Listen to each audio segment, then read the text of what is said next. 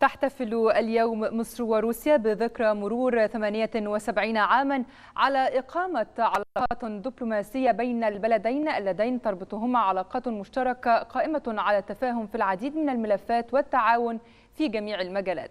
مزيد من التفاصيل في سياق التقرير التالي. إلى عقود من الزمن تمتد العلاقات المصرية الروسية القائمة على التعاون وتبادل المنفعة في مختلف المجالات.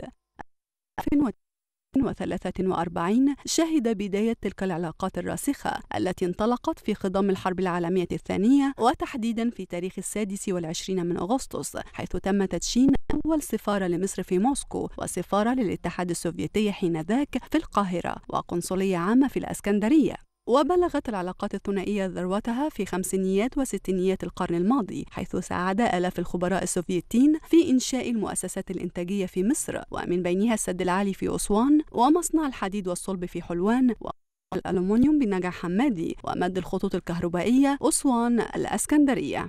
وتم إنجاز 97 مشروعا مساهمة الاتحاد السوفيتي في ذلك الوقت كما زودت روسيا القوات المسلحة المصرية منذ الخمسينيات بأسلحة سوفيتية. وتعد مصر في طليعة الدول التي أقامت العلاقات الدبلوماسية مع روسيا الاتحادية بعد انهيار الاتحاد السوفيتي 1991 وتطورت على إثرها العلاقات السياسية على مستوى رئيسي الدولتين والمستويين الحكومي والبرلماني. كما تشهد العلاقات المصرية الروسية تطورا ملحوظا في عهد الرئيس عبد الفتاح السيسي حيث يتم تنفيذ عدد من المشروعات المشتركة. واليوم تحتفل مصر وروسيا بذكرى مرور 78 سنة على إقامة العلاقات الدبلوماسية بين بلدين يربطهما تقاليد صداقة طويلة الأمد ومقاربات مشتركة في العديد من القضايا الإقليمية والدولية.